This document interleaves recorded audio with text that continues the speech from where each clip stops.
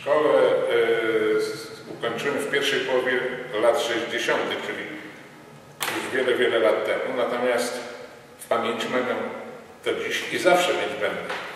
E, do szkoły poszedłem tak jak chyba większość dzieci w wieku 14 lat, no za namową rodziców.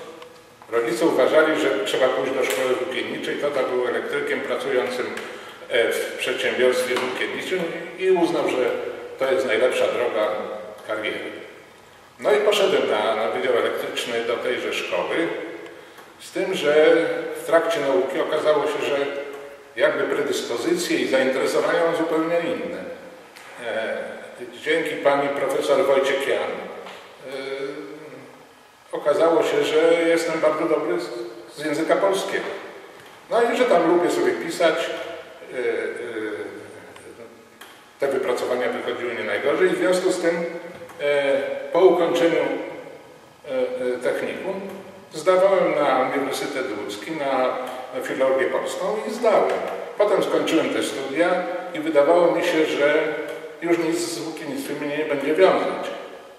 Ale po iluś latach e, e, pracy w zawodzie dziennikarskim e, wróciłem do włókiennictwa poprzez właśnie pracę w czasopiśmie włókienniczym.